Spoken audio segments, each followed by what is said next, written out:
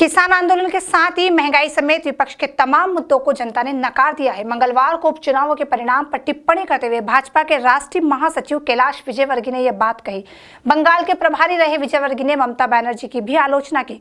उन्होंने कहा कि जिस तरह इस्लाम का प्रवेश तलवार के बल पर हुआ, उसी तरह बंगाल में टीएमसी की भी सरकार तलवार के दम पर बनी।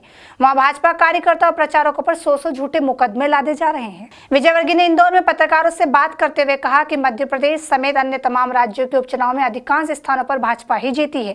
ज़्यादातर सीटें ग्रामीण क्षेत्रों की हैं। इससे साबित होता है कि किसान भी मोदी सरकार के साथ है। प्रधानमंत्री नरेंद्र मोदी के अपने हित में उठाए कामों का वे समर्थन करते हैं। सबसे पहले तो दीपोत्सव की सबको बधाई देता हूँ, शुभकामनाएँ देता हूँ। आने वाला वर्ष सबके लिए बहुत मंगलमय हो।